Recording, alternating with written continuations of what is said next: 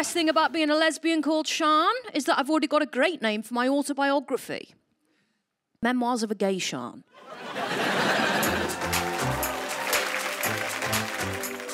was LGBTQ plus pride. Uh, gosh, what did Janet say that was? So it's um, it's lesbian. I was like, yes, it is. Very good. She was like, yes. Uh, and then it's gay. I was like, yes, it is. Very good. She was like, yes. Uh, and then it's black. I was like, oh. One of those life changes is that um, I started seeing a tiny little lesbian. now, when I say seeing, I mean dating, not like hallucinating. Every Pride Month, Pornhub put a rainbow flag on there. now, I don't know about you, but if I'm on that website, the last thing I'm feeling is pride. I don't know if you know, but hate crimes against queer people are on the rise. Do we have any gays in?